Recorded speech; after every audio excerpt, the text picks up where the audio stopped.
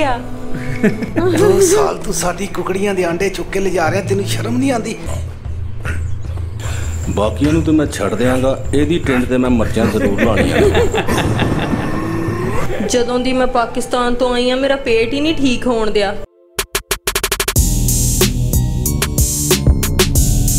ਕੀ ਹਾਲ ਚਾਲ ਭਾਜੀ? ਸਾਰੇ ਠੀਕ ਠਾਕ ਹੋ? ਅਸੀਂ ਵੀ ਬਹੁਤ ਜ਼ਿਆਦਾ ਥੈਂਕਸ ਆਸਕਿੰਗ ਤੁਸੀਂ ਭਲਾ ਨਾ ਪੁੱਛਿਆ ਹੋਵੇ ਪਰ ਸਾਡਾ ਦੱਸਣਾ ਫਰਜ਼ ਆ ਸਾਡਾ ਧਰਮ ਆ ਤੇ ਹੋਰ ਠੀਕ ਠਾਕ ਹੋ? ਵਧੀਆ ਚਲੋ। ਧਰਮ ਹੈ।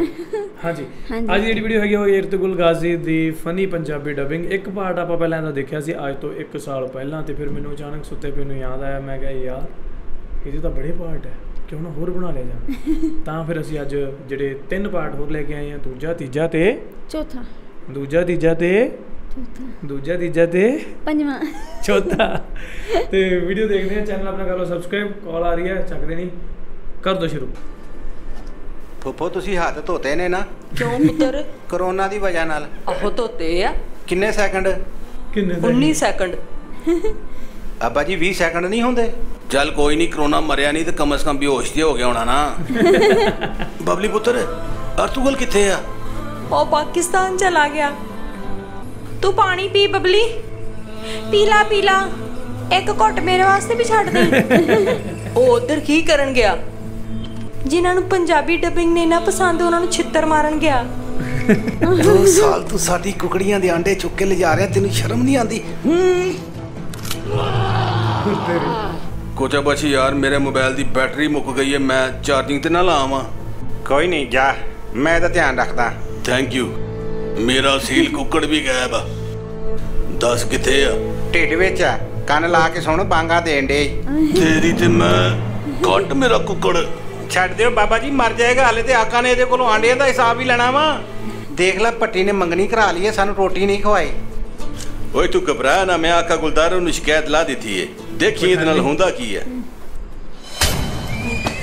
ਦੱਸ ਮੈਨੂੰ ਮੰਗਣੀ ਦੀ ਰੋਟੀ ਕਿਉਂ ਨਹੀਂ ਖਵਾਈ? ਮੇਰੇ ਕੋਲ ਪੈਸੇ ਨਹੀਂ ਸੀ ਹੈਗੇ। ਇਹ ਫੜ ਵਾਲਾ ਨੋਟ। ਕਾਕਾ ਤੁਹਾਡੇ ਕੋਲ ਹਜ਼ਾਰ ਵਾਲਾ ਨੋਟ ਨਹੀਂ ਸੀ ਹੈਗਾ? ਤੂੰ ਜਾਣਦਾ ਮੈਂ ਕੌਣ ਆ? ਤੂੰ ਉਹੀ ਆ ਨਾ ਜਿਹੜਾ ਆਟਾ ਚੀਨੀ ਸਟਾਕ ਕਰਕੇ ਮਹਿੰਗਾ ਕਰ ਦਿੰਦਾ ਹੈ। ਤੇ ਮਾਮਾ ਤੂੰ ਹੀ ਕਰ ਲਿਆ ਕਰ। ਜਿਸ ਦਿਨ ਬੇਟਾ ਤੂੰ ਇਮਰਾਨ ਖਾਨ ਦੇ ਹੱਥ ਚੜ ਗਿਆ ਨਾ ਇਹ ਜਿਹੜੀ ਤੇਰੀ ਅੱਧੀ ਟਿੰਡਾ ਨਾ ਉਹਨੇ ਰੂਲਾ ਫੇਰ ਕੇ ਸਾਰੀ ਇੱਕੋ ਜਿਹੀ ਕਰ ਦੇਣੀ ਹੈ। ਓਏ ਉਹਦੀਆਂ ਬੜਕਾਂ ਹੀ ਨੇ। ਉਹ ਕਿਦਾਂ? 6 ਮਹੀਨੇ ਤੂੰ ਸਿਰਫ ਧਮਕੀਆਂ ਹੀ ਲਾਈ ਜਾ ਰਿਹਾ ਬਹੁਤ ਅੱਛਾ। ਇਹ ਛੋਟਾ ਗੋਸ਼ਤ ਆ ਜਾਂ ਵੱਡਾ? ਏ ਨਾ ਛੋਟਾ ਹੈ ਨਾ ਵੱਡਾ ਖੋਤੇ ਦਾ ਗੋਸ਼ਤ ਆ ਜੀ। ਕੀ ਕਿਹਾ? ਇਹ ਗੱਲ ਬੋਲਾ ਵਾ ਡੋਂਕੀ ਮੀਟ ਆ। ਤੂੰ ਪਹਿਲੇ ਕਿਉਂ ਨਹੀਂ ਦੱਸਿਆ? ਤੇ ਤੇ ਤੂੰ ਕਿਹੜਾ ਪਹਿਲੇ ਪੁੱਛਿਆ? ਇਹਦਾ ਤੇ ਹੁਣ ਤੈਨੂੰ ਇਨਾਮ ਮਿਲੇਗਾ। ਖਬਰਦਾਰ ਜੇ ਕਿਸੇ ਨੇ ਬਾਹਰ ਜਾ ਕੇ ਕਿਸੇ ਨੂੰ ਦੱਸਿਆ। ਇਹ ਜਸਨ ਵਾਲੀ ਤਾਂ ਅੱਜ ਗੱਲ ਮੈਂ ਹੈ ਤੇਰੇ ਨੂੰ ਬਾਹਰ ਕਿਹਾ ਵਾ ਵੀ। ਘੋੜਾ ਵੇਚ ਕੇ ਤੇ ਤੈਮੂਰ ਨੂੰ ਇੱਕ ਆਦ 1 to 5 ਹੀ ਲੈ ਦੋ। ਪਰ ਅੱਬਾ ਜੀ ਨਹੀਂ ਮੰਨਦੇ ਕਹਿੰਦੇ ਪਹਿਲੇ ਲਾਇਸੈਂਸ ਬਣਵਾ। ਯਾਰ ਕੋਈ ਅੱਛੀ ਜੌਬ ਹੋਵੇ ਤੇ ਮੈਨੂੰ ਜ਼ਰੂਰ ਦੱਸੀ। ਜ਼ਰੂਰ ਦੱਸਾਂਗਾ ਭਾਈ ਪਹਿਲੇ ਮੈਨੂੰ ਤਾਂ ਲੱਭ ਲਵੇ। ਸ਼ਨਾਜ਼ ਜੈਜ਼ ਦਾ ਪੈਕੇਜ ਕਿਵੇਂ ਕਰੀਦਾ? ਸਟਾਰ ਹੈਸ਼ ਮਿਲਾ ਕੇ ਮੋਬਾਈਲ ਕੰਧ ਤੇ ਮਾਰ। ਯਾਰ ਜੋੜਾਂ 'ਚ ਬੜੀ ਦਰਦ ਹੋ ਰਹੀ ਹੈ ਕੋਈ ਗੱਲ ਨਹੀਂ। ਤੁਸੀਂ ਨਾ 6 ਕ ਟੀਕੇ ਨੀਰੋ ਬਿਆਨ ਦੇ ਲਵਾਓ। ਉਹ ਵਾਹ ਓਏ ਵਾਹ ਸੋਨੇ ਦੀ ਅੰਗੂਠੀ ਮਿਲ ਗਈ ਆ ਅੱਜ ਤੇ ਬਾਟੀ ਖਾਵਾਂਗੇ। ਆਕਾ ਇੱਧਰ ਵੀ ਦੁਕਾਨਾਂ ਬੰਦ ਨੇ। ਸ਼ਨਾਜ਼ ਨੇ ਘਰ ਨਹੀਂ ਵੜਨ ਦੇਣਾ ਜੇ ਦਹੀਂ ਨਾ ਮਿਲੀ ਤੇ। ਬੜੀ ਗਲਤੀ ਕੀਤੀ ਏ। ਆਕਾ ਨੇ ਕਿਹਾ ਵੀ ਸੀ ਅਸੀਂ ਉਹਦੀ ਗੱਲ ਨਹੀਂ ਮੰਨੀ। ਧੂਆਂ ਵਿਚਾਰੇ ਦੀ ਅੱਖਾਂ 'ਚ ਪੈ ਰਿਹਾ। ਪੈਣ ਦੇ ਮੈਂ ਕਿਹਾ ਸੀ ਗੈਸ ਵਾਲਾ ਸਿਲੰਡਰ ਨਾਲ ਰੱਖ ਲਓ ਨਹੀਂ ਮੰਨੇ ਨੋਇਆਨ ਨੂੰ ਨੋਇਆਨ ਨਾ ਮਾਰੇ ਤੇ ਨੋਇਆਨ ਨਹੀਂ ਮਰਦਾ। ਤੇ ਫਿਰ ਡੁੱਬ ਕੇ ਮਰ ਜਾ ਸਾਂ ਗੁੱਡ ਜੋਕ। ਅਰਤੁਗਲ ਤੂੰ ਇਸ ਡਰਾਮੇ ਦੇ ਕਿੰਨੇ ਪੈਸੇ ਲਏ ਆ? ਤੈਨੂੰ ਕੀ ਤਕਲੀਫ ਆ? ਕਿਉਂਕਿ ਮੈਨੂੰ ਇਸ ਡਰਾਮੇ ਦੇ ਪੈਸੇ ਕੱਢ ਤੇ ਬਦਵਾਵਾਂ ਬਹੁਤੀਆਂ ਮਿਲੀਆਂ ਨੇ। ਤਿੰਨ ਕਿਸ਼ਤਾਂ ਹੋ ਗਈਆਂ ਨੇ ਤੂੰ ਮੈਨੂੰ ਫੜਿਆ। ਕਦੋਂ ਛੱਡੇਗਾ ਮੈਨੂੰ?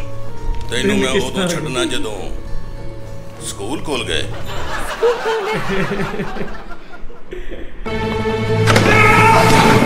ਬਸ ਕਰੋ ਸ਼ਾਨ ਯਾਰ ਇੰਨਾ ਗੁੱਸਾ।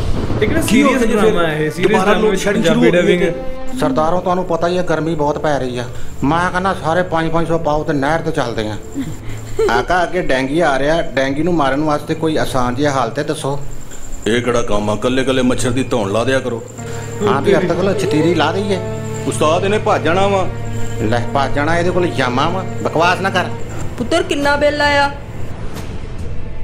ਐਤਕੀ ਤੇ 32000 ਰੁਪਇਆ ਆ ਗਿਆ। ਮੈਂ ਕਿਹਾ ਵੀ ਸੀ ਕਿ ਬਾਹਰ ਦੀ ਲਾਈਟ ਬੰਦ ਰੱਖਿਆ ਕਰੋ। ਤੁਰ ਪੈ ਤੁਰ ਪੈ ਕਾਕੀ ਤੁਰ ਪੈ। ਹੁਣ ਤੇਰੇ ਕੋਲ ਤੁਰਿਆ ਨਹੀਂ ਜਾ ਰਿਹਾ ਘਰੋਂ ਭੱਜਦੀ ਵਾਰੀ ਤੇ ਮਿੰਟ ਲਾਂਦੀਆਂ ਤੁਸੀਂ। ਬਾਕੀਆਂ ਨੂੰ ਤੇ ਮੈਂ ਛੱਡ ਦਿਆਂਗਾ ਇਹਦੀ ਟਿੰਡ ਤੇ ਮੈਂ ਮਰਚਾਂ ਜ਼ਰੂਰ ਲਾਣੀਆਂ ਜਦੋਂ ਦੀ ਮੈਂ ਪਾਕਿਸਤਾਨ ਤੋਂ ਆਈ ਆ ਮੇਰਾ ਪੇਟ ਹੀ ਨਹੀਂ ਠੀਕ ਹੋਣ ਦਿਆ। ਕਮਰਸ਼ੀਅਲ ਵਾਲਿਆਂ ਨੇ ਮੈਨੂੰ ਬੁੱਸੀ ਬਿਰਿਆਨੀ ਖਿਲਾ ਦਿੱਤੀ ਸੀ। ਓਏ ਉਸਤਾਦ ਲੰਗੂਰ ਆ ਗਿਆ। ਓਏ ਤੰਗੂਤ ਓਏ। ਉਸਤਾਦ ਤੂੰ ਜੋ ਮਰਜ਼ੀ ਰੱਖ ਲੈ ਸ਼ਕਲ ਤੇਰੀ ਅਰਤੋਗਲ ਦੇ ਘੋੜੇ ਵਰਗੀ ਰਹਿਣੀ ਹੈ।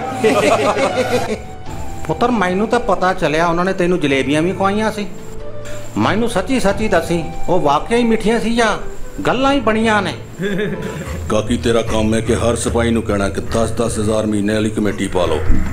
ਜਿੱਦਾਂ ਹੀ ਕਮੇਟੀਆਂ ਦੇ ਪੈਸੇ ਇਕੱਠੇ ਹੋਣਗੇ ਆਪਾਂ ਰਲ ਕੇ ਭੱਜ ਜਾਵਾਂਗੇ ਇੱਥੇ ਜ਼ਬਾਨ ਨਾ ਖੋਲੀ।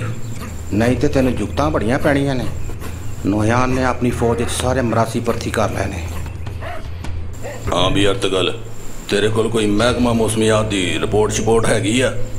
ਕੱਲ ਹਲਕੀ ਫੁਲਕੀ ਬੂੰਦਾਬਾਂਦੀ ਹੋਏਗੀ। ਕੋਸ਼ਿਸ਼ ਕਰਨਾ ਕਰੋ ਨਿਕਲਦੀ ਵਾਰੀ ਛਤਰੀ ਨਾਲ ਲੈ ਲੈਣਾ। ਇਹਦਾ ਮਤਲਬ ਇਹ ਕੱਲ ਜਿਹੜਾ ਮੈਂ ਕੋਠਾ ਲਿਪਣਾ ਹੈ, ਉਹ ਰਹਿਣ ਦਿਆਂ। ਅੱਛਾ ਪਰਸੋਂ ਕੀ ਰਿਪੋਰਟ ਆ? ਪਰਸੋਂ ਗਰਜ ਚਮਕ ਦੇ ਨਾਲ ਮੈਂ ਇੱਥੋਂ ਗਾਇਬ ਹੋ ਜਾਣਾ। ਸਹੀ ਸੀ ਯਾਰ ਮਤਲਬ ਜਿਹੜੀ ਇਹ ਐਡੀਟਿੰਗ ਕਰਦੇ ਆ ਨਾ ਡਬਿੰਗ ਤਾਂ ਕਰਦੇ ਕਰਦੇ ਨਾਲ ਐਡੀਟਿੰਗ ਦਾ ਵੀ ਖਿਆਲ ਰੱਖਣਾ ਪੈਂਦਾ। ਸਟੋਰੀ ਕ੍ਰੀਏਟ ਕਰਕੇ ਕਿਹੜੇ ਕਿਹੜੇ ਕਲਿੱਪ ਚੱਕ ਕੇ ਤੇ ਉਹਨੂੰ ਜੋੜ ਕੇ ਇਕੱਠਾ ਕਰਕੇ ਤੇ ਇੱਕ ਸਟੋਰੀ ਦੇ ਵਾਂਗੂ ਆਪਾਂ ਨੂੰ ਦਿਖਾਉਣਾ। ਕ੍ਰੀਏਟ ਕਰਦੇ ਆ। ਕਾਫੀ ਚੀਜ਼ ਵਧੀਆ ਨਾ ਉਹ ਮਤਲਬ ਕ੍ਰੀਏਟਿਵ ਲੱਗਦੀ ਹੈ। ਔਖਾ ਹੁੰਦਾ ਹੈ ਇਹ ਚੀਜ਼ ਮਤਲਬ ਹਨਾ। ਹੂੰ। ਵਧੀਆ ਲੱਗੀ ਵੇਖ ਕੇ ਕੁਝ ਹਾਸੇ ਵਾਲੀ ਨਹੀਂ ਸੀ ਕੁਝ ਹਾਸੇ ਵਾਲੀ ਸੀਗੀ। ਹਾਂ ਕੁਝ ਛੋਟੇ ਛੋਟੇ ਪੰਚ ਸੀ ਕੁਝ ਬਹੁਤ ਜ਼ਿਆਦਾ ਹਾਸੇ ਵਾਲੀ ਸੀ। ਮਤਲਬ ਅੱਛੀ ਲੱਗੀ ਬਾਕੀ ਵੀਡੀਓ ਮੇਰੇ ਖਿਆਲ ਕਈਆਂ ਨੂੰ ਇਹਦੇ ਤੇ ਹਰਜ ਵੀ ਹੋ ਸਕਦਾ ਕਿਉਂਕਿ ਇਹ ਜਿਹੜਾ ਇਰਤਗੁਲ ਡਰਾਮਾ ਉਹ ਇੱਕ ਇਮੋਸ਼ਨਲ ਹੈ। ਸੈਂਸਿਟਿਵ ਟੌਪਿਕ ਤੇ ਆ। ਤੇ ਇਸ ਚੀਜ਼ ਦੀ ਡਬਿੰਗ ਕਰਨੀ ਥੋੜਾ ਅਟਪਟਾ ਜਿਹਾ ਲੱਗਦਾ ਹਨਾ? ਹਾਂਜੀ। ਤੇ ਬਾਕੀ ਤੁਸੀਂ ਸਾਨੂੰ ਕਮੈਂਟ ਕਰਕੇ ਦੱਸ ਦਿਓ, ਜੇਕਰ ਤੁਹਾਨੂੰ ਵੀ ਅਜੀਬ ਲੱਗਾ ਤਾਂ ਆਪਾਂ ਫਿਰ ਅਗਲੇ ਜਿਹੜੇ ਪਾਰਟਸ ਆ, ਉਹਨਾਂ ਤੇ ਰਿਐਕਸ਼ਨ ਨਹੀਂ ਬਣਾਵਾਂਗੇ। ਤੇ ਬਾਕੀ ਜਿਹੜਾ ਜੇਕਰ ਅਜ਼ੀਜ਼ੀ ਵਾਲਿਆਂ ਦੀ ਗੱਲ ਕਰੀਏ ਤਾਂ ਵੀ ਡਬਿੰਗ ਵਿੱਚ ਦੇਖੀਏ ਪਾਕਿਸਤਾਨ ਵਾਲੇ ਬੰਦੇ ਨੰਬਰ 1 ਲੈ ਜਾਂਦੇ ਹਮੇਸ਼ਾ ਐਨੀ ਘੈਂਟ ਡਬਿੰਗ ਕਰਦੇ ਆ ਇਮੋਸ਼ਨਸ ਸਕ੍ਰਿਪਟ ਉਦਾਂ ਦੀ ਲਿਖਦੇ ਆ ਨਾ ਕਿ ਜੋ ਗੱਲਾਂ ਵੀ ਹੈਗੇ ਤੂੰ ਪੈਸੇ ਇਕੱਠੇ ਕਰ ਲਈ ਕਮੇਟੀ ਪਾਵਾਂਗੇ। ਜਦੋਂ ਪੂਰੇ ਹੋ ਗਏ ਤੇ ਭੱਜ ਜਾਾਂਗੇ ਭੱਜਾਂਗੇ ਮੈਂ ਗੱਲਾਂ ਕੁਝ ਵੀ ਜੁਗਤਾਂ ਕਿੱਥੋਂ ਦੀ। ਕਿੱਥੋਂ ਕੱਢਦੇ ਯਾਰ ਇਹ ਪੱਕਾ ਫੈਸਲਾਵਾਦੀ ਹੋਣੇ ਆ ਬਹੁਤ ਵਧੀਆ ਮਜ਼ਾ ਆ ਗਿਆ ਵੇਖ ਕੇ ਚਲੋ। ਟਾਈਮਿੰਗ ਜਿੰਨੀ ਵੀ ਸਹੀ ਮਤਲਬ ਵਧੀਆ ਲੱਗਾ। ਬਾਕੀ ਕੁਝ ਨਹੀਂ ਆਇਆ ਹਾਸਾ ਉਹ ਫਿਰ ਕੋਈ ਗੱਲ ਨਹੀਂ। ਉਹ ਕਿਉਂਕਿ ਮਤਲਬ ਬਹੁਤ ਜ਼ਿਆਦਾ ਸੀਰੀਅਸ ਲੱਗਦੀ ਸੀ ਉਹ ਦਿਮਾਗ ਉਧਰ ਚੱਲ ਜਾਂਦਾ ਸੀ ਕਿ ਇਹ ਚ ਕੀ ਹੋ ਸਕਦਾ ਹੈ। ਵੀਡੀਓ ਵੱਲ ਜ਼ਿਆਦਾ ਧਿਆਨ ਗਿਆ ਸੀ ਕਿਉਂਕਿ। ਟੌਪਿਕ ਉਹ ਸੀਰੀਅਸ ਪੂਰੇ ਸੀਰੀਅਸ ਇਹ ਚ ਟੌਪਿਕ ਕੀ ਤੇ ਹੋ ਸਕਦਾ ਹੈ? ਦਿਮਾਗ ਉਧਰ। ਚਲਾ ਗਿਆ ਸੀ। ਹਾਂ।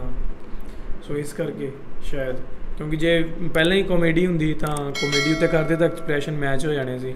ਹੁਣ ਥੋੜਾ ਜਿਹਾ ਐਕਸਪ੍ਰੈਸ਼ਨ ਮੈਚ ਨਹੀਂ ਹੋ ਰਿਹਾ ਸੀ ਕਿਉਂਕਿ ਉਹ ਸੀਰੀਅਸ ਸੀ ਸਾਰੇ। ਇਹ। ਵਿੱਚ ਜੁਗਤਾਂ ਵਾਲੀ ਡਬਿੰਗ ਸੀ ਤਾਂ ਥੋੜਾ ਮਿਸਮੈਚ ਹੋਇਆ। ਹਾਂਜੀ। ਬਾਕੀ ਘੈਂਟ ਸੀ। ਤੁਹਾਨੂੰ ਕਿਦਾਂ ਲੱਗਾ ਸਾਨੂੰ ਨੀਚੇ ਕਮੈਂਟ ਕਰਕੇ ਜਰੂਰ ਦੱਸੋ ਜੀ ਤੇ ਆਪਣੇ ਚੈਨਲ ਨੂੰ ਸਬਸਕ੍ਰਾਈਬ ਕਰਨਾ ਨਾ ਭੁੱਲਿਓ। ਤੇ ਹੋਰ ਯਾਦ ਰੱਖਿਓ ਕਮੈਂਟ ਜਰੂਰ ਕਰ ਦਿਓ ਕਿ ਇਦਾਂ ਦੇ ਆਪਾਂ ਹੋਰ ਇਹਨਾਂ ਤੇ ਬਣਾਈਏ ਜਾਂ ਨਾ ਬਣਾਈਏ। ਜੇ ਤੁਹਾਨੂੰ ਨਹੀਂ ਚੰਗਾ ਲੱਗਦਾ ਤਾਂ ਆਪਾਂ ਨਹੀਂ ਬਣਾਵਾਂਗੇ। ਜੇਕਰ ਚੰਗਾ ਲੱਗਾ ਤਾਂ ਆਪਾਂ ਬਣਾ ਲਾਂਗੇ ਠੀਕ ਹੈ? ਸੋ ਕਮੈਂਟ ਡਾਊਨ ਬਿਲੋ ਮਿਲਦੇ ਹਾਂ ਤੁਹਾਨੂੰ ਕਿਸੇ ਹੋਰ ਵੀਡੀਓ 'ਚ। ਤਦ ਤੱਕ ਸਾਨੂੰ ਦਿਓ ਇਜਾਜ਼ਤ। ਸਤਿ ਸ਼੍ਰੀ ਅਕਾਲ ਤੇ ਚੱਕੇ ਰੱਖੋ ਇਦਾਂ ਹੀ ਕੰਮ।